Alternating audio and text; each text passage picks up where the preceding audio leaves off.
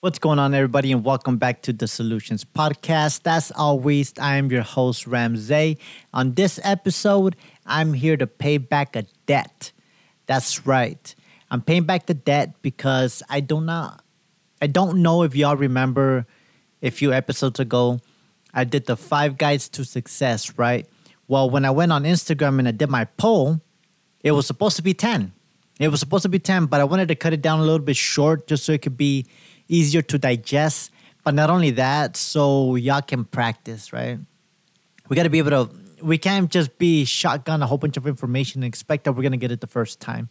So I started off with giving you five, went off the rails, did a couple of different episodes, and now I am paying my debt to y'all and giving you the, the last five guides to success. Okay? Bear with me though. But before we start, of course, we have to do a recap. Um, so yeah, I'm gonna get started with that. So we're gonna do a recap of the first five, get into the last five, and hopefully y'all like it.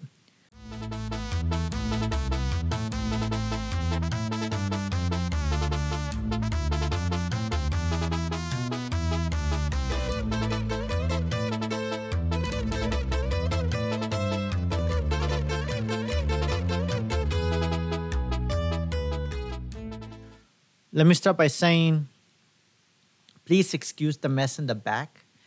That's not me. My roommate is getting the boot. Why? I have no idea. Not my problem. So, back on topic. Let's go back to law number one learn to manage your boss's ego.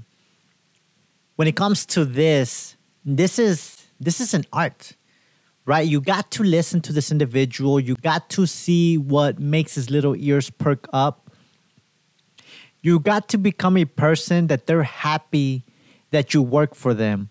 They don't want to go to work and be like, man, I'm surprised this guy still hasn't been fired, but he just hasn't done enough to get the boot.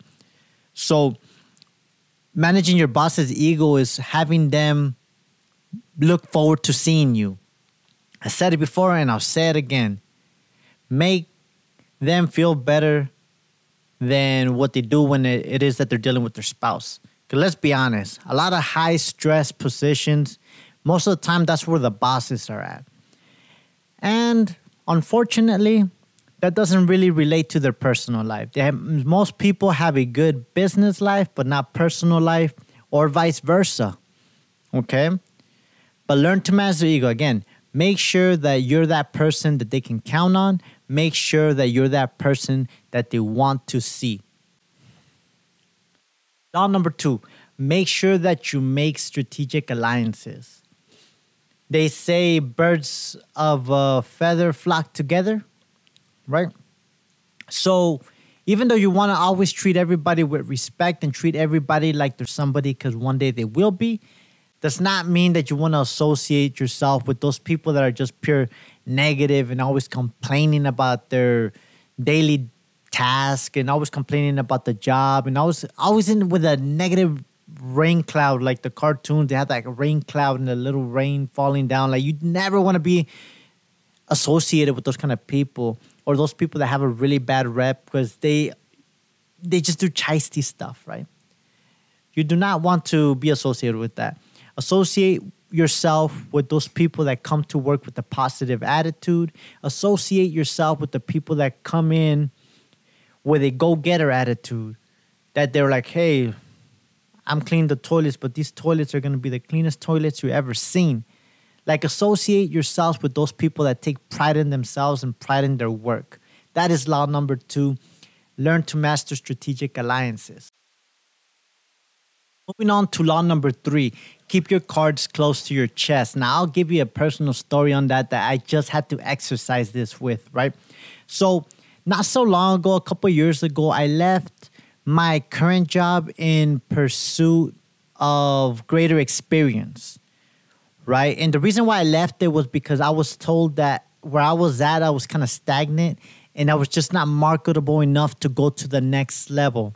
Now, I disagreed, but who am I to tell the person that's the one that makes the decisions how to make their decisions, right? At least that's why I felt at that point.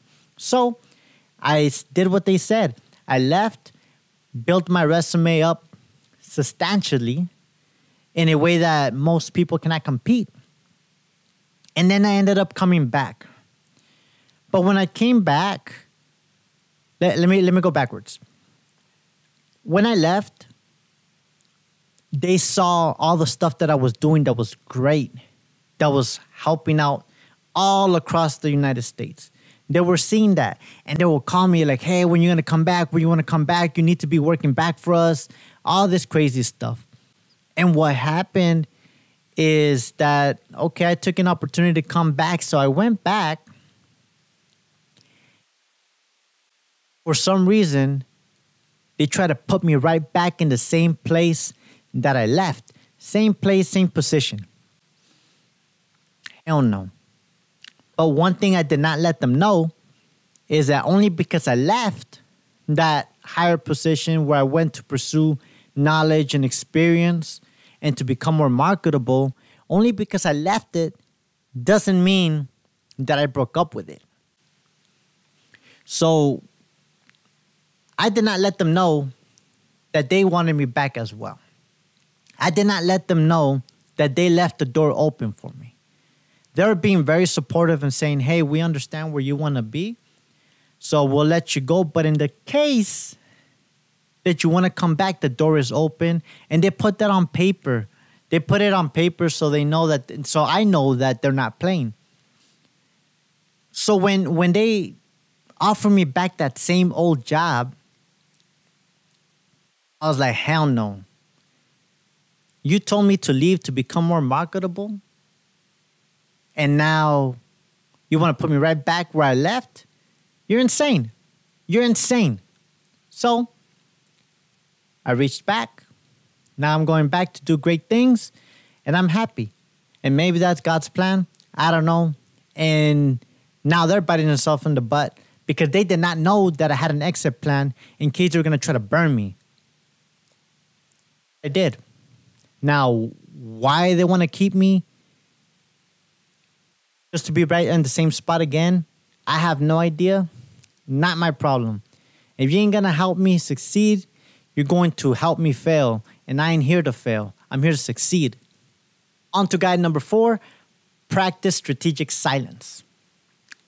Said it before, and I said it again. I used to be the worst offender at this. I used to be the person that if it came to my mind, it came out my mouth. And I realized with time and through a lot of good friends that they said, hey, you know, sometimes you talk too much. Maybe you should keep a lot of that stuff to yourself. And even though what I had to say I felt meant something or it came from somewhere important, sometimes everybody does not need to hear every single thing that's going in your head. So I started practicing the art of strategic silence, even though something was going through my head and I knew I could say it real quick. I just stopped myself and was like, will this really benefit the conversation? Would this really benefit the organization? Would this really benefit the individual? Maybe. But would it affect me or impact me in a negative way or make me look like an asshole or something? So I don't say it, right? We don't need to say everything that we think about. And sometimes that's best. Because a lot of times a lot of people are speaking out of pure emotion. And if you react with the same energy regardless of what science says a negative plus a negative does not make a positive. Not always. Not when it comes to interpersonal relationships. So if you reciprocate with the same kind of energy what's going to happen is that's going to burn you and bite you in the butt in the long term and a lot of times they realize that they're out of pocket and they come back and they apologize and actually sometimes respect you for it. Another thing that I use this guide specifically is to ensure that I keep people in suspense. I keep people in suspense. So I don't give a yes. I don't give a no when they ask me something. I say, okay, I'll think about it. Walk away. You know, because it, it it gives that aura of mystery, and people want to follow that. People love to follow that. Why? Because in the world where everybody wants to give out all their information, it's intriguing when someone doesn't. And last but not least, protect your personal brand at all costs. What does that mean? Make sure that your name is tied to something positive, something great. Make sure that your name is tied to a skill, a skill that cannot be replicated. Make sure that your name and your reputation is followed to a T and nothing but positivity, enthusiasm, work ethic, and all those things being high. Make sure that if something negative comes out when it comes to your name, you nip that shit in the bud ASAP. ASAP. If you make a mistake, don't let it be known. Don't let it be known. Fix it right away. Fix it right away. And I'm not saying don't be humble and do not admit your mistakes. What I'm saying is, if you make one and you can do everything in your power to keep it on the low, keep it on the low. Keep it on the low. You want to try to make a brand that seems perfect. You try to try to make yourself seem perfect. That everything about you is just amazing. That they don't see you cry. They don't see you fall. They don't see any of that. You got to make sure that nobody sees that except for your little tight circle. And by tight circle, I mean maybe the people at home. And even the people at home, and there might be only one person that can see that. All right? No matter what, protect your brand at all cost. If you have made it this far, congratulations. You're five steps closer to becoming a better version of yourself, a more successful version of yourselves. So while you're out there congratulating yourself, do me a favor. Make sure you like, subscribe, comment, do everything that you got to do in order to help me, help you, help us. Okay? It's not too hard of, a, of an ask. And guess what?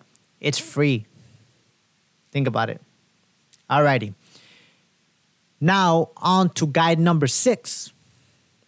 Since we're already talking about the brand, ensure that you create a brand that is cultivating develop a unique image that shows a uniqueness when it comes to your field. If everybody goes right, go left and then go right. Find a way to separate yourself from the pack, okay? Find a way to separate from you. Oh, we're talking about a brand that commands attention. Let me give you a good example. Y'all, or majority of y'all know the great man Andrew Tate. Yeah, that guy. That guy, for a while, you could not go off any social media and not see that bald head. You couldn't. Why? Because he did something that no one else was doing. And he did it in such a way that it demanded attention. And he definitely got it. Now, there's lessons to be learned, and even he has spoken on it that understanding that sometimes you can go a little bit too far, but if no one sees you and no one's talking about you, no one knows about you. Another example is Jordan Peterson. Jordan Peterson made waves by going against the establishment that was going up in Canada. He was just going against what he feels, according to science, was wrong? And he did it in such a way that he went up against i believe it was like the the school system the education system up in canada and that brand that helped his brand develop as a knowing that he's a very very very intellectual individual. Like it's very hard to see anywhere where he does not break any single topic or any single subject down to the T like he breaks everything down really, really, really, really good. So if you're bored and you don't know who he is, Jordan Peterson, check him out and just put his highlights and see what comes out on YouTube if they still allow him on YouTube because you know how it is. Oh, don't take this as go be an attention seeker and try to seek attention every single place that you go. Don't go doing that because there's a right place and a right time. But just make sure that people know who you are. Okay? This is what it comes down to. Just make sure that people know who you are and whatever it is that they know you for, it's positive. Okay? Number seven is learn to delegate. You need to learn to delegate. I know that I struggled with that when I was first coming up the ranks. Like, I really struggled with that. Like, because I had the experience and I had the knowledge, so I wanted to be in the middle of everything. And then I realized like that shit was eating me alive. So, learning to delegate, it means empowering your subordinates. Jocko Willink talks about that a lot. It's just empowering your subordinates, but also giving them some guidance, right? Because that's what's going to make you a good leader and that's what's going to help you become successful.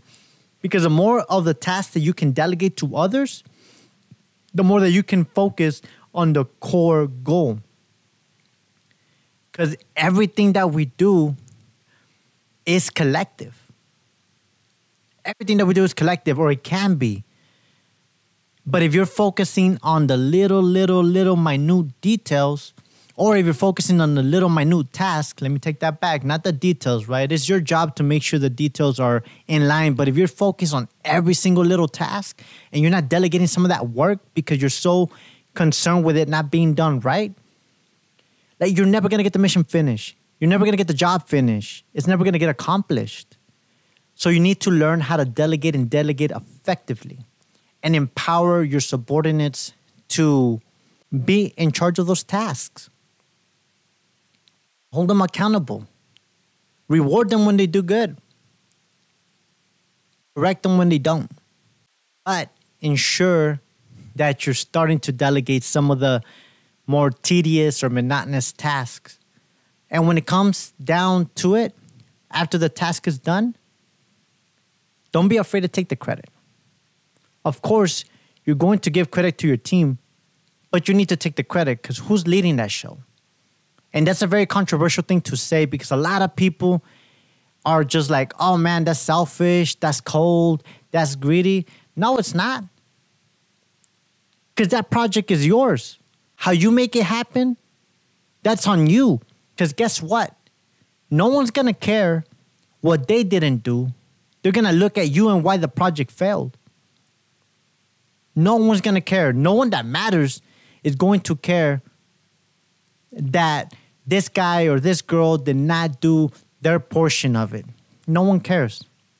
The only thing that they're going to care about is when the task was not accomplished, when the project was not finished, when the sale was not closed. That's the only thing that they're going to care about. And that's going to be your ass. Learn to delegate. At number eight is master the art of attracting opportunities. Now, what does that mean?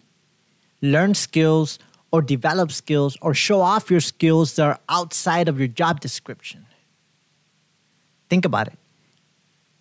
Everybody knows what you got hired for. At least your supervisors know what you got hired for. What you're supposed to be doing, you know what you're supposed to be doing. I'm sure you si- signed a contract or you signed something that says, this is what I'm supposed to be doing. But guess what? There's other tasks that need to be done. There's other skills that are needed to make the world go round. I'll give you an example. Well, I was serving in this very, very high place. Initially, when I got there, I was one of the few Spanish speaking people. Majority of the janitorial staff and the staff that would, um, the maintenance staff and all that, they, they all were of Hispanic descent. And when they were going around trying to fix stuff or they're trying to clean stuff or trying to organize stuff and everything, they'll try to make communications with the regular people that would work around us, with, with my peers or my supervisors, and they couldn't, and they'll get lost in translation. So one day I just saw that they were struggling to have a conversation back and forth. So I got involved and I translated for them everything. And I think I got something that the, the boss was trying to get fixed for like a couple months, but they couldn't figure out exactly what the what one was trying to say. And after having that conversation, they fixed it. Something that was he was trying to get fixed for like about two months. I got it done for him in like it got done in like two days or something. And then with that skill being shown, yes, I still did my regular duties, but then they would use me a lot in order to inter- uh, interpret between tasks that needed to be get done in the organization. That led me to network with a lot of people, a lot of people in that building, and that got my name out there. And now everybody wanted a piece of me. Everybody wanted to get to know me. Everybody wanted my help. That alone is just because I saw an opportunity and I took it. And that's not the only one. I'll give an example of there's a a good man that I know that he started off at the company lower level just doing like the regular conveyor lines and he was just very mechanically inclined. So he saw one thing that was broken, then he fixed it. He saw another thing that was broken, then he fixed it. And come a couple years later, that company cannot run without him. And he pretty much gets whatever he wants. If he wants a day off, they didn't even charge him. And he doesn't take advantage of very, very humble man. Very, very, very humble man. He doesn't take advantage of everything, but now that company needs him and uses him for every single thing because of all the skills that he has. All of them. So well, that's when it comes to guide number eight is to make sure that you master the act, master the art of attracting those opportunities. Because those opportunities are out there. You just gotta see where do my skill set match to get something that somebody above me needs. You gotta look for those. You gotta look for those. We're almost there, people. Guide number nine Guide number nine is understand that actions speak louder than words. Mastering the art of talking is an art in its own. Some people are really bad at it. They say public speaking is one of the top fears of most people. I don't know whose people that is. It ain't me. But there's a lot of people that yap, yap, yap and don't do. Don't be that person. If you say you can do something, demonstrate it. Or before you can say you do something, demonstrate it. Every action that you do is going to speak louder than words. And I want to bring that just to your home. Right? Just to your home, just to in a, a in a from a relationship perspective. If someone's there at home every single day telling you they love you, telling you they care, and then they cheat. Which one holds more weight? Which one holds more weight? Be the judge. I ain't gonna be the judge of that. But that's where I come to where actions speak louder than words. Because a lot of times people get very comfortable using their mouth. Like, oh, I learned this in school. I learned that in school. I have this certification. I have that certification. Oh, cool. Show me. they stay quiet. And they stay quiet because they can't show it. They're good at talking and they might be able to sell it to five people, but all those five people are not the ones you need to sell it to. A good supervisor, a good boss, a good leader will see that through. So ensure that you practice what you preach and that your actions show what's behind your brain, what's behind your words. That's guide number nine.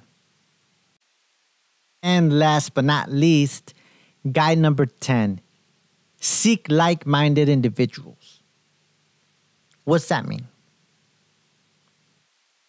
So, if you're trying to improve and you're trying to improve the organization and you're trying to improve your physical being,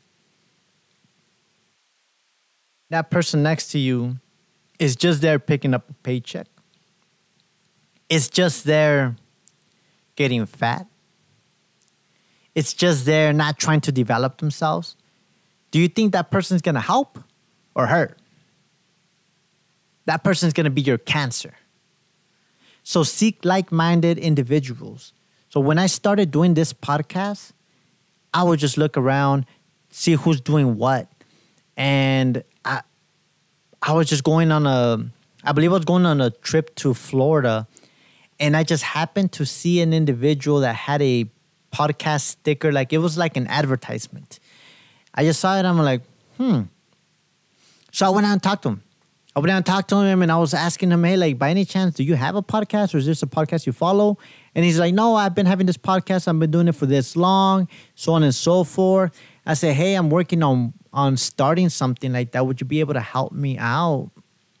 And he gave me some tips. He gave me some some words of advice and everything, and gave me his card and said, hey, whenever like you need anything, like hit me up and I'll help you out and stuff. You know, it's not easy to get started, but it, it's a it's a wonderful reward if you seek it through.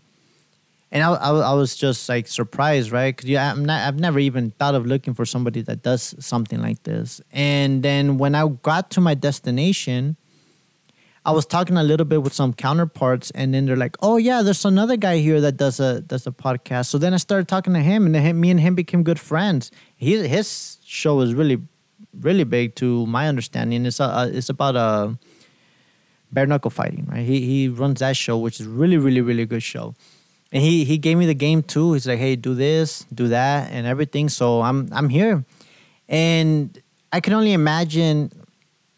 Well, it's not that I can only imagine. Like I have talked to people, and they're like, "What are you doing? Like, why are you doing it? Like, like why are you really doing this?" And and and they they just are negative about it and I don't I don't mind because I, am a man of my own. Like if I'm doing something I will tell you why I'm doing it. As a matter of fact, episode one, go check it out. That's why I'm doing it. Like I, I will tell you what I'm doing. I, I'm, I'm not afraid. Like I will say I am doing this because I want to, or because this is what I feel is going to contribute to the world. This is what I feel is going to contribute to my life. So I own it. I own it. I'm not afraid to own any single thing that I'm doing. But I'm not doing garbage shit. Right? But not to get off topic is you got to seek those like-minded individuals because especially if, if, let's say you're trying to do something simple like stop smoking. You think you're to stop smoking hanging around people that smoke? Let's be real. You're not. Same thing with drinking. You think you're to stop drinking hanging around with people that drink? If anything they're to talk you out of it. Same thing with every single negative habit that there is out there. Like they're they're going to stop you. But if you seek people that have already gone through those things or are going through it, now now you got a network of support. Now you got something to look to. Now you know you're not alone.